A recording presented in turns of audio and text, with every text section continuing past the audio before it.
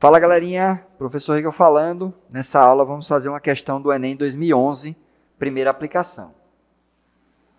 Uma indústria fabrica, brindes promocionais em forma de pirâmide.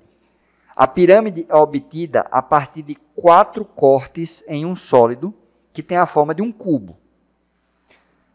É, no esquema estão indicados o sólido original, o cubo, e a pirâmide obtida a partir dele.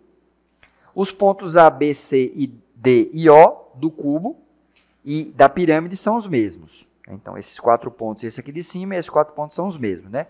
Um antes do outro depois do corte, dos cortes. O ponto O é central na face superior do cubo. Os quatro cortes saem de O em direção às arestas AB, BC, AD, BC, AB e CD nessa ordem. Após os cortes, são descartados quatro sólidos. Os, os formatos dos sólidos descartados são. Então, veja o que é que vai acontecer, né? Ele vai nessa ordem. Primeiro, AD, BC, AB e CD. Então, veja só o que, é que eu tenho. Tenho aqui o cubo, né? Tenho aqui o cubo. Os dois primeiros cortes vão ser feitos da seguinte maneira. Está aqui o centro, né? Vou botar aqui a parte interna deles. Ó, A, B, C, D. Os dois primeiros cortes vão ser feitos assim, ó. Ele vai passar um plano em direção a essa aresta e outro plano em direção a essa aresta. Então ele vai fazer um corte assim, ó. É, se eu consigo desenhar aqui, ó. Cortar aqui assim. Cortar aqui assim. Vai cortar aqui assim vai cortar aqui assim. Né? Formar como se fosse um telhadinho. E vai descartar essa parte de cá e essa parte de cá. Então, esses dois sólidos descartados, eles vão ser iguais. Eles vão ter um formato assim, ó. Tipo, um, vai ser um prisma, um prismazinho de base triangular. Vai ser uma peça assim. Vão ser duas peças assim que vão ser descartadas. Uma de um lado, uma do outro lado. Eles são idênticos, só que espelhados um em relação ao outro, né? Aqui seria o ponto B, aqui seria o ponto C, aqui seria o centro.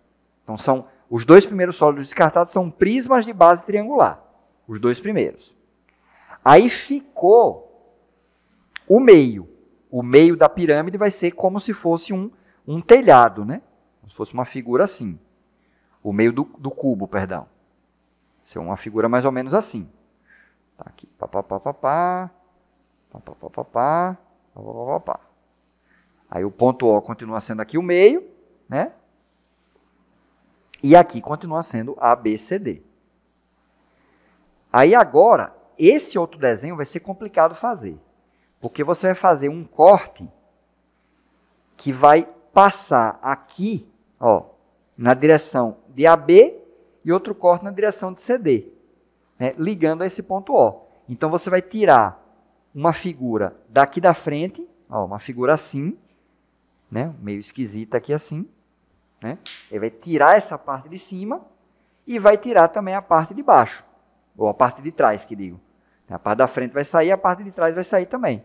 Que seria uma figura mais ou menos assim, né?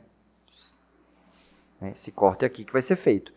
Então, esses outros dois pedaços, que é uma figura bem esquisita de desenhar, né? Seria esse pedaço aqui, ó, esse pedaçozinho, o da frente e o de trás, para no final formar a minha pirâmide, que seria essa pirâmide aqui. Mas esses dois pedaços aqui, eles também vão ser iguais.